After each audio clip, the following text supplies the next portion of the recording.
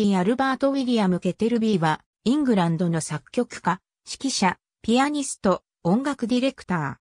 バーミンガムの出身版絵師であった父親、ジョージ・ケテルビーと母親、セーラ・アストンとの間に出生。11歳でバーミンガムミッドランド・インスティチュートに入学し、アルフレッド・ガウルに作曲を H.W. ウェアリングに和声を教わった。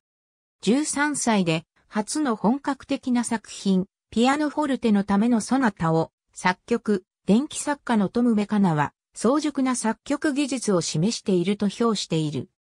ロンドンのトリニティカレッジ・オブ・ミュージックの奨学金に応募したところ、後に作曲家となるグスターブ・ホルストが2位になるなど、全応募者の中で最も高い評価を得た。1889年に同大学に入学し、G.E. バンブリッジ、G. サンダース、フレデリック・コーダーに指示した。16歳でウィンブルドンのセントジョン教会のオルガン奏者に迎えられる。この頃、様々な楽器に習熟し、プロのオーケストラでもやっていけるほどの技量を身につける。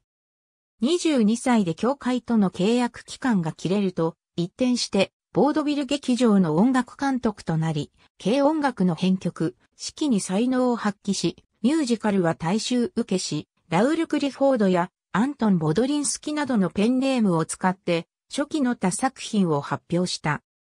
その後、30歳を過ぎた頃には本格的な室内楽や競争曲にも傾注するが、出版までには至らず、むしろポピュラーな軽音楽作曲家として名を挙げ、それらの作品は、サイレント映画での伴奏音楽やカフェあるいは、ボールルームでのムード音楽などとしてもてはやされ、放送局やレコード会社などの当時新しいメディアでの音楽ディレクターとして活躍した。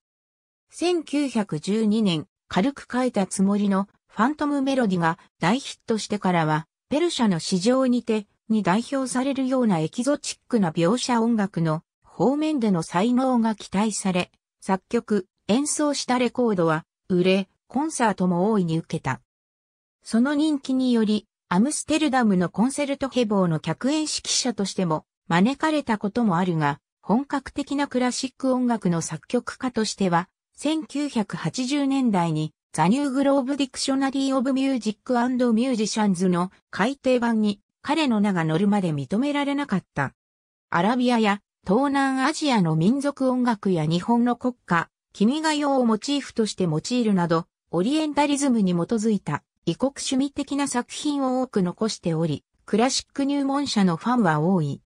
特に日本ではペルシャの市場にてがホームミュージックの定番曲として突出した人気を誇るが、その他にも地名を冠した商品を集めたレコード、CD も何度か発売されている。避暑地として有名なワイト島の自宅において悠々自適の生活の後、84歳で亡くなった。ありがとうございます。